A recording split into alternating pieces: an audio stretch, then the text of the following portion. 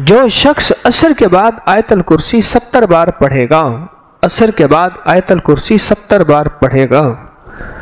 आयतल कुर्सी के तीन अमल हैं असर के बाद। अर्ज़ कर दूँ, एक अमल यह है कि असर से लेकर मगरिब तक मुसलसल आयतल कुर्सी पढ़ता रहे। और जिस वक्त मगरिब की अजान हो और अजान में मुआजन अल्लाह अकबर कहे, ये सजदे में चला जाए, क्योंकि अजान से पहले सजदा नहीं हो सकता। सजदे में जाए और अल्लाह से अपनी फरियादें और दरखास्तें अल्लाह की बारगाह में पेश करे। और जो मांगेगा, सो मिलेगा। और इधर अजान ख़त्म हो, इधर इसकी फरियादें ख़त्म हो जाएँ और इसके सजदे से सर उठा ले। सात हफ़्ते नहीं गुजरने पाएँगे। रब मुरादों से झोली भर देगा। एक तो ये अमल है। असर के बाद और ये ये अमल है जुमे के दिन का। हर जुमे के दिन असर के बाद। ये जो मैंने अर्ज़ किया कि असर से लेकर मगरब तक मुसलसल ये पढ़ना है। एक अमल है जिसके साथ जुमे का तयन नहीं, जुमे की कैद नहीं है। वो अमल क्या है? वो अमल ये है कि हर नमाज़ असर के बाद सत्तर बार आयतल कुर्सी पढ़नी है।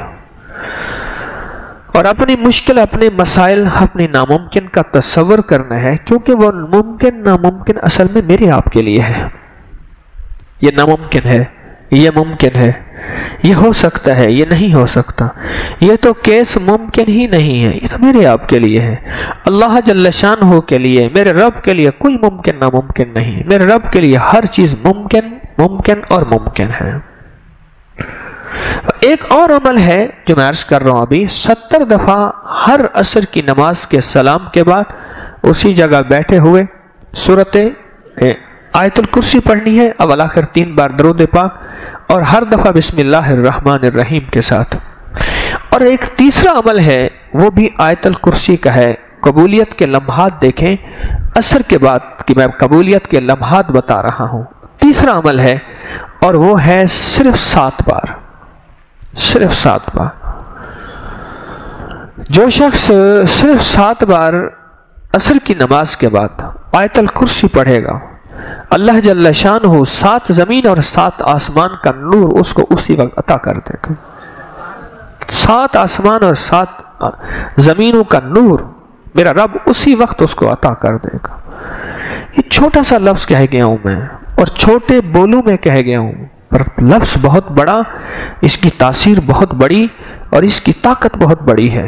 बस मैं कह गया हूँ और आपने सुबहान अल्लाह कह दिया, यकीनन आपके दिल से निकली सुबहान अल्लाह लेकिन सात आसमान और सात ज़मीन का नूर गुमान में नहीं है।